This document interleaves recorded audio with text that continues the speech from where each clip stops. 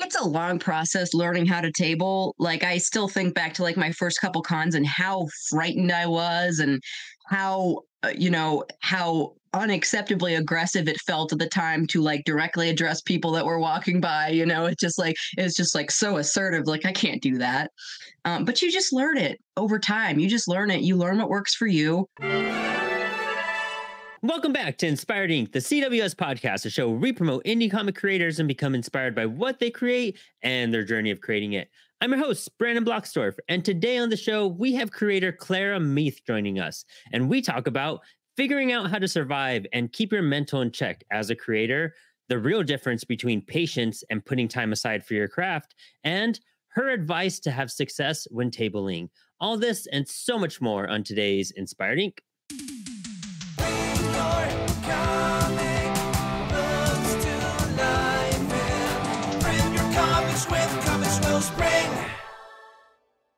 You're you're at it. Like I feel like do you even have time for a day job for like what you're pouring into your art? No, I don't have time for anything. Um but I do way too much and it's just pretty much constant. Um there's kind of a light at the end of the tunnel now, but it's just creating the opportunity to do more work, you know? So, oh, yeah. Yeah. 100%. Yeah. It's constant. Yeah. Between the, I mean, before I worked at a grocery store full time and then I did this contract work and then I was doing the publishing stuff and then I'm working on my own comics. It was just like a never ending battle of like, when do I get a free moment to like just breathe, like yeah. just think for a little yeah. bit? Um, yeah. How many projects do you have lined up for you at this moment that you work on? Oh gosh. Um, let's see. I am my current primary obligation is the perspective course I'm doing for my publisher, Comics Experience Publishing. That's what I was working on right before I got on here. Uh, I'm getting close to the filming stage of that. Basically, they have a side platform where they like teach a comic school in you know in in video mediums basically and um, so i'm putting together a video course teaching perspective based on one of the uh, panels i like to give at cons i put a lot of work into it and i'm very proud of it and I pitched it to him and like, hey, can I do this as a book? And he's like, I'll do you one better. Let's do a book and a video course, and hopefully you make some passive income that way. So when I have that ready, I'm going to kickstart it, and we'll see how that goes. Um, no real expectations in that field because that's not a popular subject because it's hard. Uh, it but we'll see. We'll see. Um, the the uh, the people mature enough to recognize what they need for their work will will come. Yes. I hope. I was gonna um, say, like, um it's such a vital aspect, and like, yeah. as an early artist that I'm trying to learn how to draw and do stuff, like, it's something I'm like, I need to figure that part out because it's just yeah. something that's daunting, and it's hard to find good resources for something like that too. It is. It's ridiculously hard to find good resources for that, and I don't know why. So I'm trying to sort of be that very simple you know, not too many syllable words sort of introduction to these are the very basics. And even if you just know the basics, like I only used the basics for the, you know, for years and years, and you, that's that'll still get you by. So, um, yeah. And after that, I have some mini comics I'm working on. I have a pile of commissions I got to get to. I'm helping my business partner, Zach Howard, a lot with uh, his project, Moonshine Bigfoot, which is going so beautifully. Um, recently ordered, you know, some of the black and white, um, or rather the full print run of black and white, uh, you know, exclusive limited series uh, issue ones mm-hmm. from you guys. So yeah, I got him on board. We got all kinds of stuff from you guys. Oh, sick. That's super awesome. Yeah. And, you know, even with like the timing with stuff, I know this new facility is taking a minute for us to like acclimate and spit out orders, but like the quality control and stuff is just so much better too. I'm mm-hmm. so excited for people to see what like our new square bound machine can do and like even oh. our single issues like imperfections are like almost like minuscule now like like yeah like less than 2% of all of our books are having errors now which is I mean I think it's exciting for creators to like not have to send back anything with like reprints or like right. fix you know you know stuff on the spine and things like that so right, right. I feel like any of the most recent orders like it takes a, a, little bit to get through our system as we catch up but the quality sure. I think it's just going to be pushing indie books another level at this point which is rad I think it's what we all need to really re- represent our work if I can be a nerd, tell me about the new square binding machine. How is that different and like what's what's new? Um, we could actually like the way this machine works, from what I understand, is that you could even do like a squ- perfectly square, uh, perfect bound book for like even eight pages. and all you got to like watch out for is like your margins to make sure the letters aren't cutting out. Right. And the glue has been upgraded, so the shelf life and the usability on your books is even better as well. Um, okay. I forgot the it went from like EVA to like some other glue, but uh, yeah, it's like just the quality behind how it's packaged and put together Mhm. and how it's glued. It's just gonna make your books a whole lot healthier, which I'm Nice. hyped um because my last two books that i'm waiting to get in hopefully i think they're getting sent this week finally um but i did a anthology for uh the shadow anthology dark side's calling and then cybersync um they're both perfect bound books so once i get those in that's going to be my real test to show off and kind of see how everything looks because one is about 80 pages one's about 110 um and one of them even has a foil cover that i'm really Oh, excited like pieces of it. It's this really cool purple that this uh, guy Abel Rodriguez did, and um, we highlighted the purple foil, and it's it's going to be so cool. I'm so excited to, you know, you're waiting for your book to get in your hands finally when Right. it's existed right. Of course. so it's long. so Yeah, yeah, it's one of those things. You know, comics are interesting that like. I've I only have one book technically published right now, my punk anthology up here. Mhm. Um, but I have like eight books like out. They're just like not like printed and in hands yet. You know what I mean? They're just like in that limbo phase where they exist and they're like about to hit that either kickstarting or that like going to print. So I'm like, I just want all my books out and in front of me, but it's it takes like a year practically from production to like putting it out. Um, Right. It's super exciting. I'm super hyped for it. cool. Awesome. Um, but I mean, like, what about you? Like, you know, with you know, printing with CWS and doing the amount of work uh like that you do, like what do you look for when you're getting your book in your hands? Like, are you someone that analyzes like every aspect of the paper quality and like super technical stuff like that? Or are you just happy that your book is printed and like able to distribute? I think for me, it comes down to, I mean, obviously the quality of the book, of course, but that's never been a problem with you guys. And I think it's mostly ease of use and options you know that the the feeling of autonomy that comes with options that you can choose the paperweight and that you can choose you know the covers and and I haven't even made use of a lot of your other options like the sketch cover or you know the the trifold or whatever it's called and i'm looking into like well how can i up my game? Because you know Comix Wellspring offers all these super cool things so i'm trying to trying to move into that and i've used a few other printers earlier on in my career and you know just the quality was more spotty and you didn't have you know those that array of options and you guys are also super easy to work with you know you're super communicative you know like the email proofs and stuff are always like i mean at this point you know, at, at, the level of interaction I'm at now, they're always like very personal, like, hi, Clara, here's your proof kind of thing, you know. But like, even when I was just starting out, it was, you know, it was not informal in a bad sense, but informal, kind of friendly, just kind of like, yeah, I hope you like your proof and let us know if you need any changes whatsoever. So it was always, you always feel like you're dealing with a real person. You're not dealing with that annoying phone tree kind of thing. There's no robots involved. And that's, that's what I mm-hmm. like about it. And you're super reliable in, with your delivery as well. And the whole, you know, return any damage kind of thing has been great. And that's there's been so little damage, but the few instances were like, oh, okay, I can just, you know, send these back. It's easy. Yeah, you guys have been great. Rad. That's super awesome to hear. I love hearing the like, you know, the consistency from whenever like I asked her, like, you know, I poke my head in to see how CWS operates and has been operating. It's always been very consistent on that, you know, and I think that's why when we encounter a hiccup like we are right now, so many people are like outraged or like thrown off because we are very consistent, it seems like. Mm-hmm. And so it's like, okay, well, we gotta we we slip for a minute, but we gotta like get back on track, which it's fun because again, you know, pulling indie people to like help represent indie, think it's more comfortable for everyone. It takes away that like corporateness away in a sense and kind of brings back that punk rock vibe. You know, we're all the same people, we're all on the same team, we're all just trying to put out cool comics and whatnot. Um, I love that. It's it's encouraging for me too as a comic book creator, I suppose, uh, to just know you have a team and community behind you. Um, mm-hmm. which you've you've really formulated too. Like just looking at your social media and like how just blown up you are um and the quality you're spitting out like where did all this start from? Like where did your artistic journey even begin? I mean how far back do you want to go?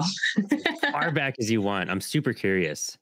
I mean i was always one of those kids that drew and i just drew a lot um there's some quote i forget what it was like kind of like everyone draws as a kid some of us stop drawing you know Mhm. Yeah. and i just kind of never really i honestly i did stop for a while because i wanted to be very intentional about like my late teens i intentionally stopped drawing because at the time i wanted to be uh, a writer um Hmm. and you know once i once i realized that i could do both that i've always drawn and i've always written and i could just make a career out of both of those uh, that was kind of the real turning point for me and then I went to art school and I started my Instagram while I was in art school. And that's been riding pretty high ever since, honestly.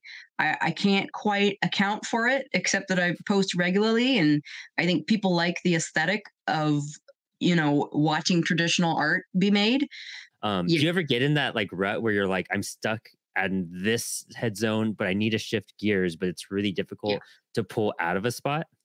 Yeah. I mean, I've been in that headspace for about two years now. It's a it's a very difficult thing to buck um, because I I did not plan well financially. Those of you that that know me out there have heard this story before on my Instagram and whatever. But basically, when I finished Mother Forty Seven, my most successful graphic novel so far, my most successful creator-owned book, very very happy with it. Haven't gotten a single negative word about it, which has been a huge honor. Um, I realized I had put every scrap of my attention in that and had not planned anything after it. So suddenly I found myself kind of unemployed. I still had a bit of Kickstarter money for, you know, a few months, but I I really, you know, that doesn't give me enough time to start something new that's going to actually make money. So I was like, crap, what do I do? And my, again, my business partner, Zach Howard, had been saying for a few months at that point, why didn't you just move out here to Denver? Because I was in Sioux Falls at the time. Oh, and cool. you can work at my wife's vet clinic to get yourself back on your feet. And uh, the difficulty with starting back up a regular job is that it's, you think you can just like do this for a few months, get the money, and get back on it. But what you forget is that once your brain is in that different mode, it's so hard to switch back to creating. And I'm like super introverted and like that much autistic. So it's like just being out in public takes so much energy. Like at the end of the day, when it's like, I technically have an hour or two to make something, I'm completely dead. And it's like, so it's been a very rough uphill battle trying to, and I don't want to imply even in the slightest that I'm ungrateful for this wonderful opportunity because it's allowing me to, you know, pay off my uh, debt and my student loans and all that stuff. So that's been super useful. But I'm finally clawing my way back into, you know, getting back on that career horse. I got the this mini comic planned. I'm go- I'm hoping to do, you know, a uh, a set of three mini comics sort of printed together. Um, I've got uh, I'm working on this perspective course that uh, also I'm going to kickstart. So hopefully that's enough money to start taking time off at the clinic so I can actually start making comics again. And um, like it's at first I was downright embarrassed because I was like I was a completely art supported artist for years, Mhm. just living on my own, just making it happen, supporting myself with art. But I didn't plan well enough. And uh, so now I'm having to deal with the consequences, which is it's a hard lesson, but I think it's a very necessary lesson. And um, at the end of the day, I'm grateful that I'm having to go through this because it's a, really good slap on the wrist. Is like, don't let this happen again. So I Mhm. already have a whole system set up where I basically always have something ready to go. Now I'm not going to again put myself in the position of not having work lined up when I finish a project. So I don't even remember where that explanation started, but that's my current situation. No, I mean, and that's a lot to unpack there too, because you know, for one, like a vet clinic is like a really intense job too. You know what I mean? There's like Can be. a It lot. can yeah. be. yeah, like it seems like you know you're dealing with a lot of like animals, and there's a lot that goes through that doors. I'm sure that you have to like kind of cope with and like you know mentally channel through at that point too. And that's just like Mhm. animal handling. That's not even dealing with the people at that you know essence Right. too. Like not even taking that on. There's a lot that goes into stuff like that. I've had friends who do clinical stuff for vets, and it, I know it, gets really rough sometimes. Um, Yeah, a so I, I mean, you know, coming home and then being like, oh, I get to be creative in myself. It's you're exhausted. I mean, finding that Right. energy to like put your best work out there at the same time it's uh Right. it's draining you know and i think Right. that's where a lot of us are just like man even if i do like half an hour 15 minutes of something on my worst days it's at least some progress but even that seems like the hardest task and i don't think a lot of like normal people realize that like we don't all go home and get to turn on TV and to like kick back and enjoy. We go home and start our other job and try to balance all this out and still deliver at our other occupation as well. Um, Yeah. so there's a lot to take in there. There, just Well, and you get like you get all this like you know when you go to cons and stuff, people want to you know this is where they have their fun nerd time and they want to talk about have you seen this? Have you seen this? Have you read this? And I'm like I can't I can't articulate to you just how little time I have. Like I haven't had a moment that wasn't full of something that was absolutely necessary for like 2 years. yeah, you know it's it's absolutely brutal. Um and i you know and at first at first i really beat myself up like why is this so hard? Just do it. And i and uh, zach again you know said like you know you don't really don't beat yourself up about that. Like mhm, y- creative work takes so much emotional energy. Like he he likes to say like he's had because he used to do a lot of rugby. He's like i've had rugby matches that were less exhausting than one day of making comics. I was Yeah. like okay okay.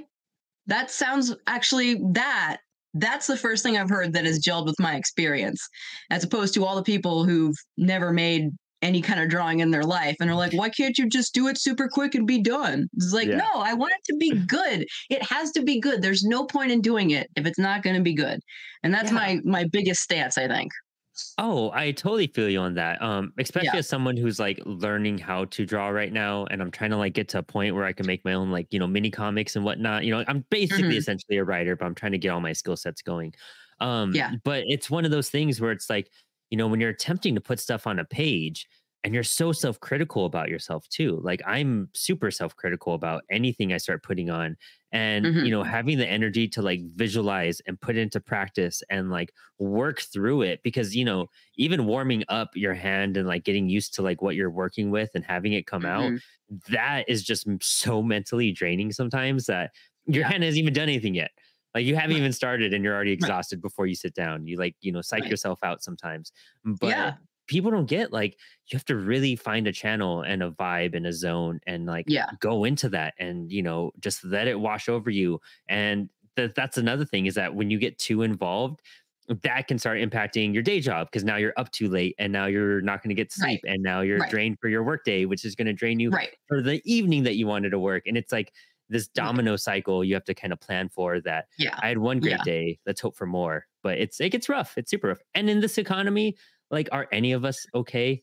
You know? no like no no and again Yeah. i'm working super since i have this this very generous and kind safety net i have right now like i my my landlady is a work friend so my my rent is very low for the area um you know i have the support of zach and his wife like you know i will never i know i can't go hungry because i have them and stuff like that.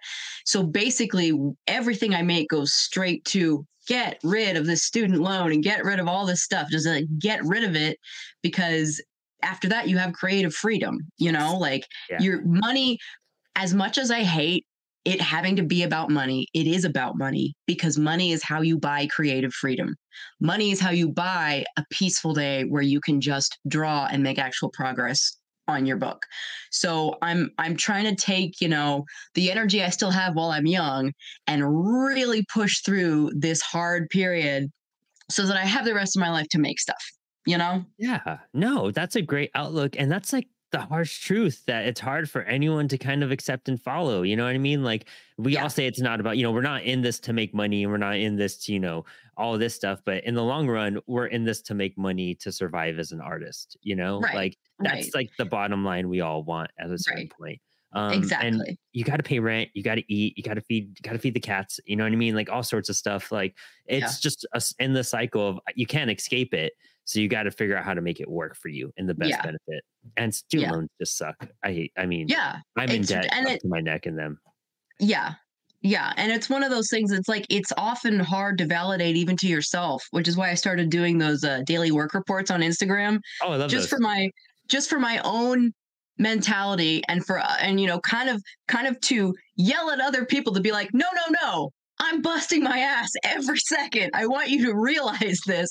These days are so full. Like I haven't had a not 15 hour long day in longer than I can remember. And it's yeah. just it's just like that. But I am getting closer. It is coming. It's getting there. Do you feel like you're like getting closer to just replace it with other things though? Or do you feel like you're getting closer to actually have like downtime? Downtime is not on the menu right now. Um and i mean i do I, I, know i understand my you know my own mental health needs enough that downtime has always been part of you know part of the schedule. Like i do oh. have a little bit of time every night where i just like wind down read. Sometimes i like you know watch a show or something but i try not to do evening screens. It makes a big difference in my life. Um but yeah that's to an extent that's always been the part of it actually like taking you know like a vacation or something that's that's uh, nowhere on the horizon I don't know but what that is. someday yeah i don't i try to i try to pretend cons are vacations even Same. though they are they're more exhausting than a normal day but at least it's in a positive way at least it's in like the over the sense of overwhelmed is not from I have so much work in front of me and I don't know how I'm going to process this and I'm going to go broke in 2 days. You know, every 2 days it's that again, you know, but it's like eh, but uh, at a con at least the stimuli is positive. People like wow let me buy this and i like your stuff and let me let me regale you about some completely unrelated thing. But you can tell they're just so happy to be there you know? So yep. it's exhausting but at least in a good way yeah, 100%. I mean, every time I, you know, I, I was working at full time at a grocery store for a long time. And it was one of those things where I'd ask for, you know, so many times off to like go to a convention. And they're like, oh, cool. You get to go and have fun and relax and have a good time. But then, like, I'm there doing interviews, I'm doing live stuff, I'm capturing stuff. I'm trying to like right, also course. promote my own work at the same time and give out copies and trade work and schedule yeah. things and you're like, oh, that was my that was my weekend off, and now I'm back to nine days straight because I had five right, days off. Right. Know? Like it's not. Yeah, yeah. It's no just rest. it's not it's not a break at all. It's just a different kind of work. It's it's fun work, but it's like yeah, and people who don't do that have really no sense of how it works. Like no shade at all. There's no reason they should. But it's what like I remember I had a friend in comics once who was like, "Oh, uh, you know, a friend of mine who's not in the arts at all heard I was going to be in her city because I was at a con. She was like, "Oh, we should get lunch that day." And he was like, "You don't understand. don't you don't bring me You're lunch. lucky if you get to eat a bunch of french fries really quickly behind your table, like hidden under your tablecloth, you know? Like you're lucky if you get that, you know? Yeah, That's a con. It's a hustle. How do you how do you take on tabling? Like what's your approach? Where do you find you find like success and like what do you not like about tabling too? It's a long process learning how to table. Like I still think back to like my first couple cons and how frightened I was and how uh, you know how unacceptably aggressive it felt at the time to like directly address people that were walking by you know? It's just like it's just like so assertive like i can't do that. Um, but you just learn it over time. You just learn it. You learn what works for you. You learn how to treat people. Um, like like you i worked in retail for a long time. I worked at trader joe's for eight years and you really learn mm. in in retail and i strongly believe everyone who possibly can should work retail at least for a little while because that'll teach you what you need to know about humanity and how to interact with people but uh, that i got the retail skill there of learning how someone wants to be talked to you know within the first point you know seven seconds or so of interaction um, but for the most part, my basic rules, I just kind of treat everyone like my potential new best friend and mm-hmm. act like I'm excited about my work and that I want them to be excited about it too. And that often goes really well. Uh, you know, even when, even if they don't buy things, my, my motive is that they see my work. And it still means, as much as it practically shouldn't, it still means more to me when people see my work and smile than if they bought something. You know what I mm-hmm. mean? Like it's still like it is art. It exists to be seen. That's its primary function. If it also makes you money, well, good for you. But the positive reactions are what fuels me. Oh, that's great. I mean, that's the best thing you want out of something like that too, is to like kind of inspire somebody else too. You know, like we do this, mm-hmm. you know, art is kind of a selfish thing because it's something we need to get out and it's built into our system. And, you know, a lot of us can't function unless we do it but like you know the reward we get for doing that like service to ourselves and giving it to someone else and having someone else like see Yeah. it and love it and be like i want to get to that point or you know i wish i had money to give to you to support you that's Yeah. like awesome enough in general because that means you're Yeah. impacting them enough to be like oh man they actually like want to they can't but they will love to do support me somehow um, if it's not now it's maybe a follow and it leads to another thing and it's a future investment you know? But having Mhm. that impact to someone can just change someone's life and day because if you met somebody that was a jerk at like an indie table you'd be like man i don't know if i want to go back to those tables because they all kind of seem like jerks even though it was only one or two people but that impact you make with that person Mm. monumentous and it could bring them back to indie areas and it could bring them you know mm. so many conventions segment indie Right. creators from everyone else we want to find more reasons for people to go there and we don't want to be jerks and have them chase away to like the popular tables you know we want to bring them over here to indie and make them the popular tables and Right. get rid of this you know high school click thing that cons do Yeah. to us sometimes Yes. That's a like a very good point. That's something I often don't even like I don't directly think about it like in a categorized sense, but it is true that like I I feel a sense of responsibility to keep this field dignified, I guess.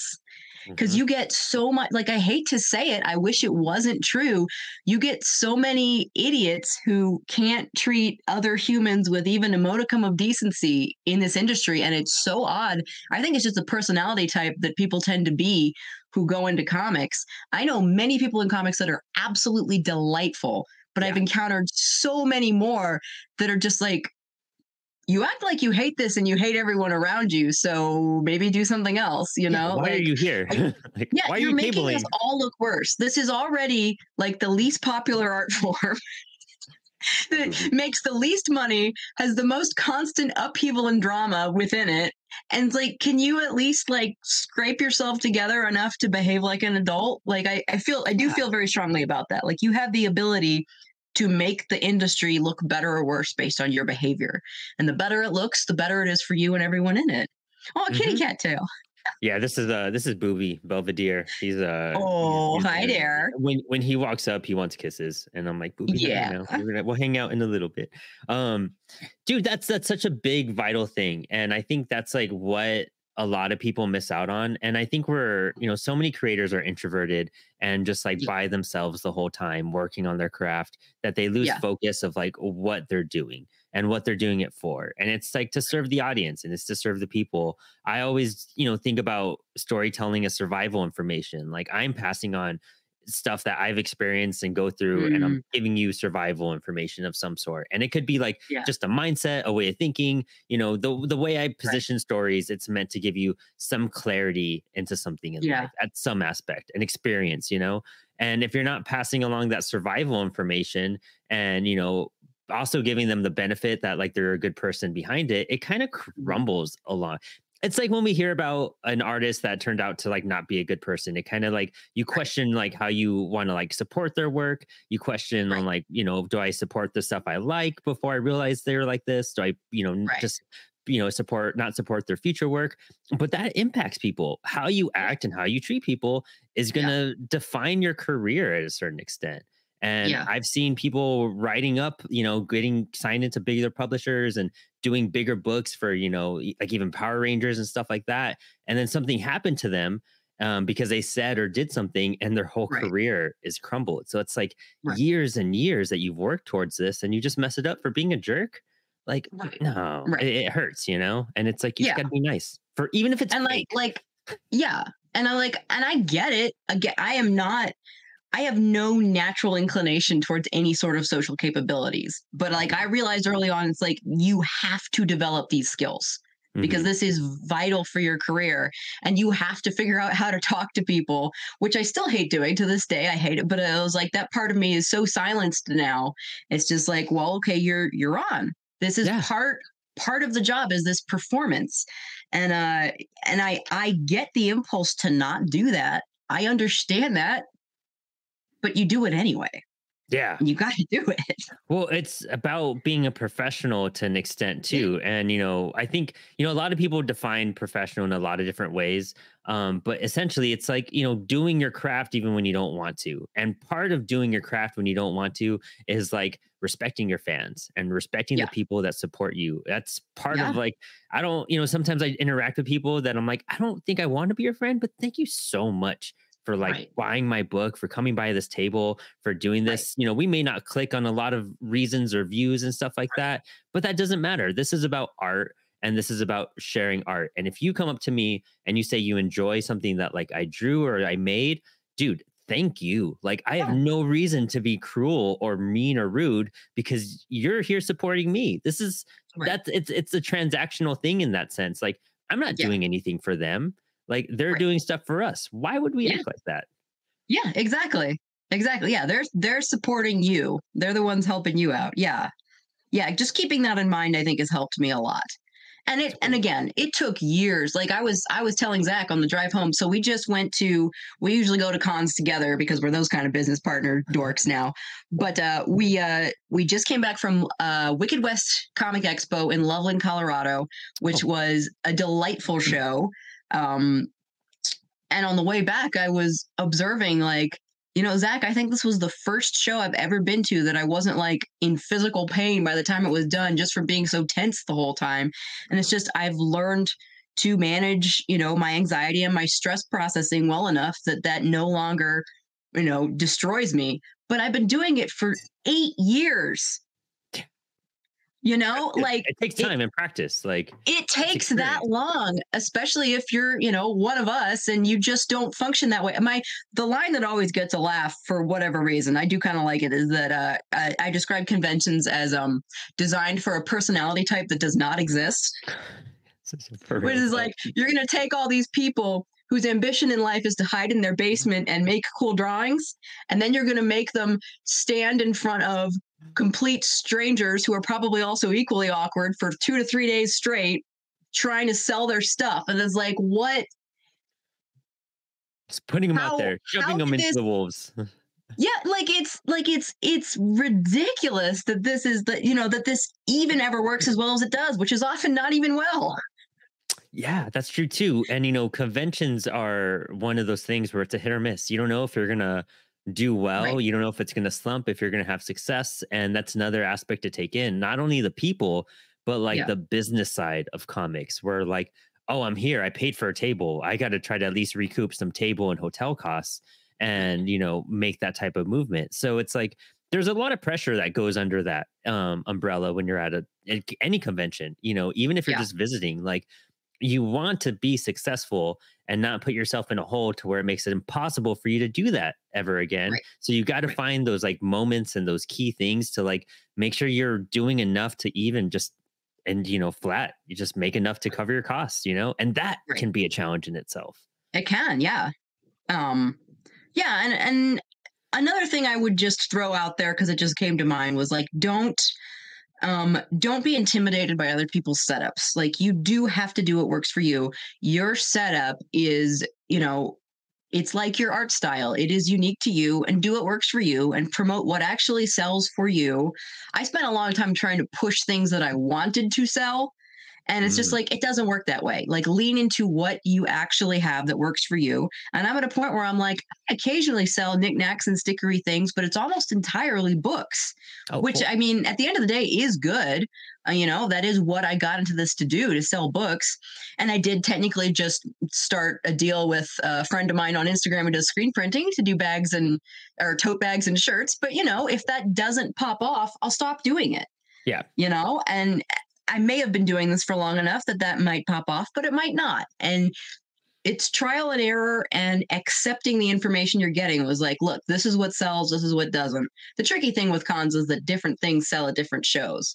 So you Yeah. got to develop an awareness of like what is you know what are the demographics you know how many of these people are young how many of these people are old you know is this is this a town with a lot of reading or is this more a town where you're going to sell sell stickers and decorations and stuff like it, there's a billion variables so there's even less point in trying to imitate somebody else's cute setup when you just need to do you And I think about it a lot like growing up as a musician and going to shows and you know stuff like that. Mm-hmm. Like, you know, you don't start off like being Kiss right away. You don't have all the pyrotechnics and the lights and the like the the wall of amps and all that. Like you got to start small and you got to figure out your way up there. You start off in the garage, you know what I mean? And then you right. kind of build upon your setup until you could do the, you know, even Kiss had fake amps with no speakers in them for a long time and it made it look right. bigger than it was find right, ways right. to like you know make your setup look great but like don't like compare yourself to the person across who has this giant sure. you know extravagant banner and like you know a sure. stage prop and cutouts and all that like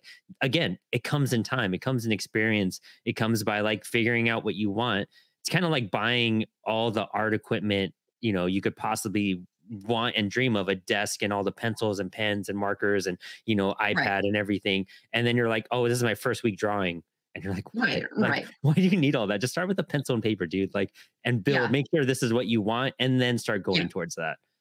And it's it's so organic. I, I would just say at the end of the day, that's what you got to remember. It's so organic. The cons themselves are like mm-hmm. they're living things with with recognizable lifespans you can kind of understand you, you have the feel of a con when it's in its youth when it's starting to age it goes corporate and then it dies and that's sort of you know how the natural progression of a con and you got to judge you know gauge where a con is in its lifespan as a as a living creature as this weird kind of dinosaur. Um another thing i've been you know pushing with myself lately is like it's not just for money making it's for networking. You are not in competition mm-hmm. with these other people you are supporting these other people. You're supporting each other. This is a this is a chance for you to support each other. Any sense of competition you should have should be out the window. And i try and as like as exhausting as it is i try to make a point to make at least a few rounds and buy at least one thing from one other creator just so that i could know i could. Just you know just not so much because of reputation, but it's more just like that thought in my mind was like, I don't want to be the person who came here and didn't help anyone except myself, you know? Yeah. And, sure. and it, you know, if you give, you get back kind of thing. Mm-hmm. And I'm at like, and I have now relationships with so many like local vendors that's just like whenever we see each other at shows, it's like, ah, you know, hey, good to see you. You know, hugs, what's new? What can I buy? But they, they respond in kind. They will do the same thing for you and you're mm-hmm. you're creating a positive environment which is like we need to focus so hard on doing that because again there's so much crap in this industry. Yes. And i mean dude that's a key thing networking and utilizing that ability to network because you can open each other up to different audiences that way too like whatever like you know maybe somebody on that is a fan of yours isn't a fan of mine and vice versa right. but like it could be the same thing like somebody doesn't like my stuff they might like yours so if i could promote your stuff and if someone right. discovers you because they're like i was really attracted to that like it looked awesome i got to check it out that's beneficial yeah. and that's indirect like helping each other out and you know, we are all like essentially in a giant stadium holding up our, our comic to the single person on stage to like, right. you know, I want you to buy this. And we're all shouting to that one person. And that's how it feels sometimes at conventions. But at the same time, yeah. like we're all different styles we're all like our own stories we're our own you know people so there really isn't competition the only competition you have is with yourself and putting out that work and continuously putting out that work like you're more yeah. on a race against how much work you can create and how many stories you can complete than you are mm-hmm. to like compete with sales you know I don't think any of us are trying to like fight over like, oh, you took that customer's five bucks. That could have been my five bucks. Right. Yeah. no. Impact you. Yeah never think that. No that doesn't mm-hmm. help you. We when we win in this we win together. It's a small enough industry that we're kind of at the end of the day we're all kind of the same thing. So how do you like work through with the amount of work you're pushing out and the way you are with the conventions how do you work through burnout? How do you work through like not wanting to give up and just toss in the towel sometimes? And how yeah. have you kept on going these last few years? I mean I've never considered giving up because I know I I can't. I can't do that. I I know that at at all times it is so essential in my nature that I am going to be writing stories whether I'm, you know, mentally, whether I'm making them or not, and I have the choice to either let them build up in my head and leave no room for anything else, or I have the choice to make this my career and you know make the right making comics is a is an act of exorcism like you have to get this out of your head you know yeah. and like in many cases when it's done I don't ever really think about them again unless they become like really popular or, you know, I want to consider a sequel or something, or, you know, I want to like pitch it to Netflix or something crazy like that. And then I go back into the headspace of, okay, I remember what it was thinking about this character and this world all the time. But for the most part, when you're done, that's just more room on your hard drive, so to speak. Yeah. And eh, it it makes that space for you. So I I know that I can't quit. That's not an option I've ever had. I have to make it work because there's not, I don't have, and I don't have any other skills either. I'm one of those people that I'm really good at a couple of things and most of them aren't useful at all. And, um, that, I mean, this is literally my college degree. What am I going to do? You yeah, know? I so yeah. I, I, I don't, there's, there's a certain beauty in, you know, the cautious people always tell you when you go to college, have a plan B. And the passionate people always tell you you can't have a plan B because you'll use it. And I'm as much as I like caution and and planned out uh, living, I am I am actually in the in the no plan B category. So I'm sorry, I forgot the question because I went. I I totally spaced out because I thought of like five more things to say to what you were saying. To yeah, yes, right. Yeah, no, it's uh, it's so true though. I mean, when I was when I was 18, and this was like before when people were still like scared about tattoos and being in a work environment i went and got right. like my first tattoo like on my forearm and i'm like this guarantees that i can't have a regular job um also right. it says fuck on it like I, I've, I have a tattoo at 18 year olds that says fuck you know what i mean like stuff like oh, that oh like, my right? is that even legal and so like i was like you know i have no other option like and i was just like whatever i do it has to be along these lines because now no one's gonna now the rules the rules like changed like four years later and nobody give a fuck about tattoos but it was one of those things like i set myself up on like I'm not really good at anything else, and I can't really pay attention enough to anything else to like even mm-hmm. succeed mm-hmm. in that. Like, I don't think I could have ever been a doctor or a lawyer or like gone into like finance or anything because you know what? If I don't care about something, I tune out. Like, I just cash out completely and I can't force mm-hmm. myself to do it. Um, I could probably like wiggle my way through some stuff and like be okay and figure it out, but I wouldn't be right. truly happy and you have to do what makes you happy and what you can go in every day and be like you know what? No matter what i can do this. Even if it's scary like art art gets scary to sit down and do and push out but there's right. no better feeling than when you're working on the process or when you finish it and i don't know anything else that i could be doing this for because right. i just wouldn't be able to pay attention i would just suck at it to be honest and be horrible at life at that right, point. right. Yeah. Now are you are you a process creator or a product creator um, I'm very much probably more a process creator over mm-hmm. time. Mm-hmm. I've become that because I, you know, one of those things that you have to really learn is like you have to love the process to like even finish the product, you know? Mm-hmm. And I've really realized that like, yeah, I was hyped for, you know, the punk anthology and all this stuff to come to life. And I'm so hyped they're in my hands. But as soon as they're in my hands, I'm like, this is cool. I want to get back and making more. You know, like yeah. I want to turn around yes. and just start doing like I'm happy it's there. I'm happy it exists. It's in my hands.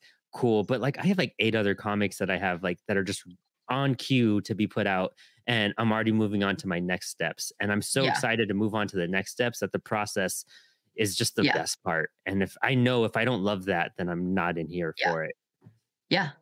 Yeah. I mean, that's another that brings up another thought. Like I I relate to that because like um one of the other reasons I know I have to be doing this is like I've I timed it at one point, and this was many years back when my you know my manners were much more frenetic in this department. I've I've been able to bring my mental health down to a much better place, but um, it was something like I can't go seven minutes without a project. Like I could complete an entire comic, or it would be something like in school, you know, finish an assignment. Cool, it's done. Seven minutes. Within seven minutes would be like, I have to start working on something. Yeah. Like I have to have a project. I have to have at least one project and I have to be working on it or I'm just not I'm not at peace. And yeah. once I start, you know, once I'm actually working on it, there's still the pressure of I want this to be good. I want this mm-hmm. to be, you know, as you know, as fast and efficient as possible. Mostly good, but you know, efficient too is good. Getting to the end it helps. But it's still like in as much as there are those pressures, it's still much more peaceful than not working on a project. Mm-hmm. Plus, you know? it's one of those things where like I spent so long and like, especially in my life, trying to figure out like how do I make comics? How can I even break into comics? How do I find an artist to work with me? And how do I even start doing all this? that you know I would hate to let any of this go at this point. Like you craved it for so long, and you finally get the chance to do it, and it's finally coming to life, and you're seeing your work, you know, it physically in your hands come to fruition and collaborating like how mm-hmm. could i ever even stop when it's the only thing you ever wanted in life like right. it's just like right. grabbing a fruit and just tossing it and being like ah it was whatever you know and like no that's not the way right, this works you know um, but I, I, totally agree i literally finished a script um, for china for fake your death this week and i was like super hyped because i was putting it off for a while because i had to get in like mm-hmm. a headspace to write it and then as soon as i finished it i was like oh cool i'm excited because i have another script that i've been like kind of boiling and i get to now switch right. my focus to that and now that's what right. i'm gonna do today and it's like i need right. to be doing something in some aspect yeah. or i'm gonna go crazy because i don't know where else yeah. to put my energy or mental i think i would just break at a certain point yeah I really think if, if like if I couldn't do this, I would just dig holes all day or something. Like I would just yeah, have to. Like you have to have a project. That's just the way it is for me.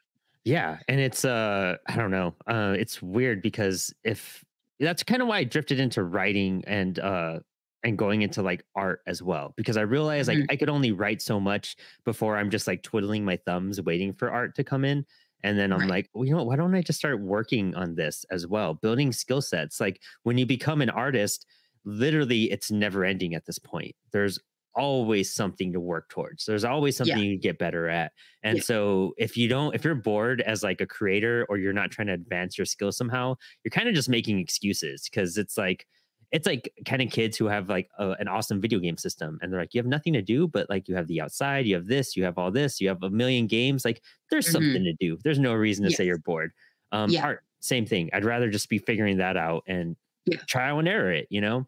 Right, but I think that right. instant gratification culture we've slowly become to has hurt a lot of people and artists because they just want they see what they see in big publishers and they're like right. i want to be at that skill set and they start yeah. drawing and you're like oh i have to work towards this right. oh i have to work towards this every day oh i have to put how many hours right. to kind of get good and master this like that's what i think stops a lot of people from even discovering how good of artists they could really become yeah, and how gratifying it can be. Yeah, that's a like one of the comments I get most often on my Instagram posts, my my FAQs is like are basically comments about like essentially along the lines, along the lines of like, wow, I would never have the patience to do that. And it's it it always makes me really really sad. Um because a patience is an incredibly learnable skill. It's yeah. very easy to to teach to your brain extremely easy. Your brain is is very plastic. You can teach it new things. Imagine that. And the other thing is like i don't think they even mean patience. I think they mean focus. Because like patience what patience means is you're you're enduring something unpleasant. I'm not enduring something unpleasant you're yeah. implying by saying that I'm that I have so much patience that I can do this means I hate my work. I don't. Like I mm-hmm. want to do this. Like if you're, you mean focus, patient while you wait sure. at a doctor's office. You're patient while exactly. you wait at a you're, red light. You're patient. You know? You're patient while your bratty nephew is like doing the the thing at you and you don't hit him. You know, like that's patience. Um, but yeah, what I think they mean is focus, and I what I think they often mean what I think they're often doing is that mental excuse is like, well, this requires a skill I don't have that I've never tried to have. So that's why I can't do this. Woe is me, you know? And it makes me so sad because, like, you absolutely can. You absolutely can. Yeah, 100%. Yeah. I mean, uh, Apollo, when we were just doing the podcast, I started a live drawing show so I could learn how to draw. And right. it was one of those things where I was just like, I don't know what I'm doing. I don't know. Mm-hmm. Like, I got to figure out a way to start the skill set. And mm-hmm. every day I would just jump on the live stream with my friend Danny. And for like two to four hours, you know, every Thursday night, we would just draw. We'd do a spinner and just figure it out. And it's like, you just set aside the time and just you sit down and do it and you just like yeah. don't complain and you'll you'll realize like what doors open up once you sit down and do it. Yeah. And sure, you know, might check your phone every three minutes and whatnot. And but just like keep shifting back. Like don't let it go.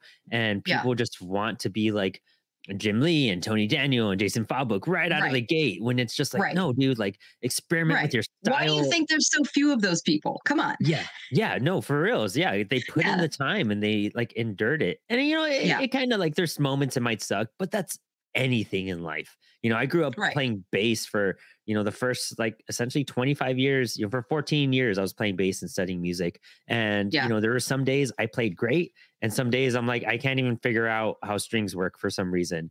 And that Right. that's how it goes. You, but you work through it. You understand that and you And you have days like that even as a pro. Yeah, I have days where I get to the drawing table and it's like I have no idea what I'm doing, and I've been doing this for years. You know. And Oh, the know, other thing. Oh, no, go ahead. I would say you know, when you talk about patience too, I think people look at the intricate detail that you put into your work too. And I Mhm. think that intimidates a lot of people. It's because you're very fine with like awesome Yeah. designs and details and aesthetic. And I think that's beautiful. But you know what that takes is a lot of time and, you know, sitting down and figuring it out and like playing with Mhm. things and knowing how your pens work and experimenting with like your tools and your craft. Um, Yeah. that just takes Yeah. time and just, you know, investment, you know, like how Yeah. much are you willing to invest into it to figure out these little intricate Right. things? Right, right. And I mean, yeah. And the other thing I always think about, you know, when the patience comment comes up is like, look, your day is 24 hours long no matter how you spend it. You may as well do it, do something valuable, you know? Like it doesn't take any more patience in the literal sense to spend 8 hours watching Netflix than it does to spend 8 hours drawing Right. it's the same amount of attention you know like it's not it's it that's why the patience comment frustrates me so much because it's like you're talking about something else you're you're making an excuse i worry that you're making an excuse And you know what? Put on Netflix while you draw. If that makes you feel better, like, and you know, Sure, do that, done, yeah. like, do that. Like, you know, put on the show so you're not missing out on whatever you know people are talking about. But eventually, you're gonna learn. Like, you could just shut it off and be happy in your own Yeah. world too. You don't need to Yeah. have 12 things happening around you at once. You don't need to be in sync with the whole world who demands, you know, everything's streaming right, Right. now, everything's available Right. right. now. Doesn't mean you need to do it all right now. You know, like enjoy that, savor it. right Save that. Netflix binge when you just like give yourself a day off from everything. right And yeah it- you'll enjoy it a lot more too, to be honest. Yeah, I I completely agree. Like don't be what I'm really learning now that I'm starting to be old is it really it really is bad for your brain to be so overstimulated all the time. And like I've I spend so much less screen time than I used to. Um I I you know, I'm very intentional about focusing on just one thing at a time, you know, even just the multitasking is like, look, if I have a list, I don't have to think about it. That's why I'm such a list person. And I'm just trying to be good to my brain, just like think about one thing at a time. And that's honestly really been helping. I'm at a point in my process where when I'm penciling, I don't, I I get this question all the time like, what do you listen to while you're working? Like it's an assumed thing. When I'm penciling, it's just silence. Like it's just me working because all my attention is going to the work, which is where I want it. Now, Mhm. inking is a kind of different thing. I often listen to like podcast or music or something while I'm inking, but there's way fewer decisions being made at that. And, you know, at that point, you've already decided how it's going to look. You just now have to do it, you know? Kind of like uh, inking is, I always feel like it's more of a vibe. You know what I mean? Like I Yeah. need to like have something to go with it. Um, in the sense of like you could kind of be a bit more free, but a bit more strategic at the same time. Like your map is already there. You're just trying to fill in the blanks and like, you know, add to it a whole lot more.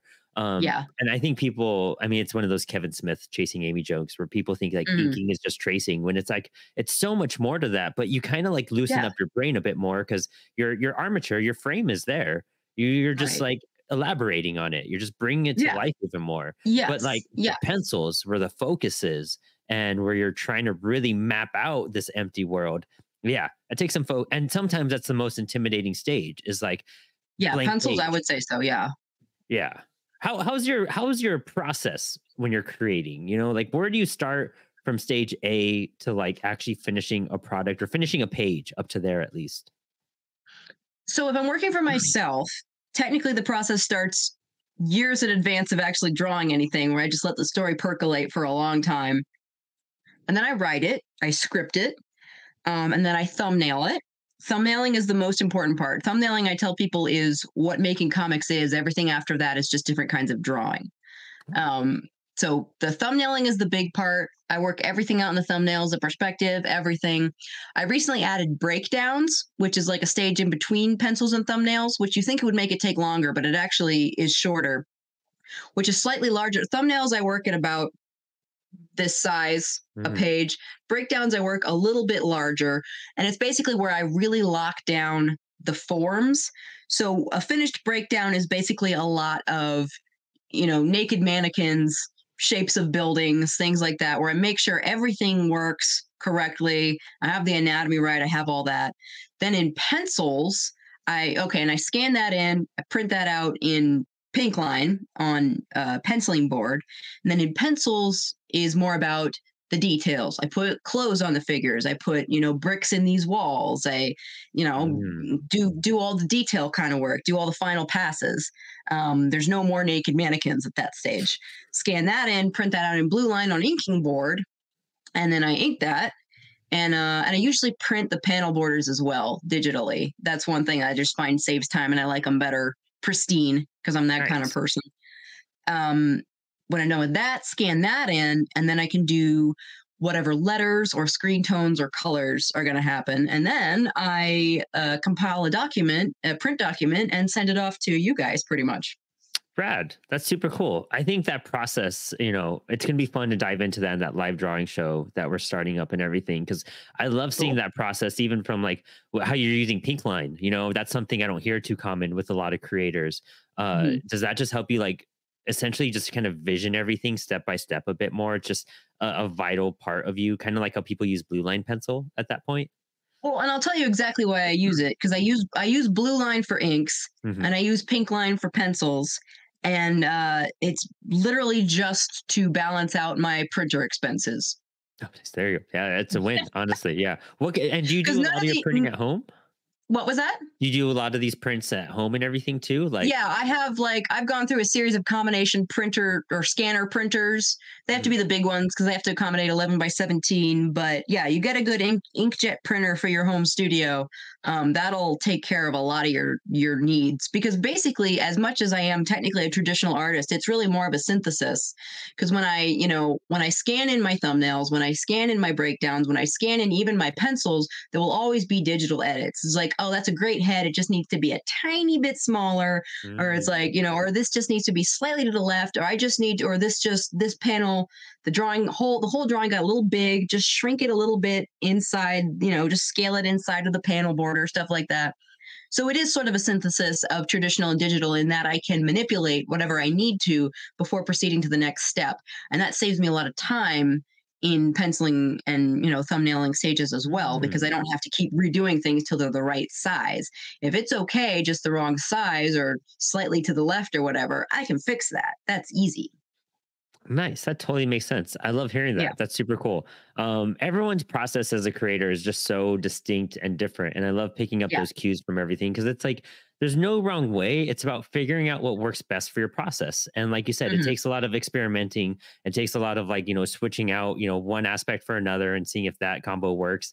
But uh nailing it down and make it more like fluent for you and you know, so you can work faster, so you could kind of get more work done and clarity in your head as you're telling the mm-hmm. story that's the yeah. best avenue to go. I mean, Rick Lopez was just telling me that he templates all of his pages first and he has all the borders laid out and it's just easier in his brain to work with that function and like yeah. at least he's playing with panels and just manipulating images at that point.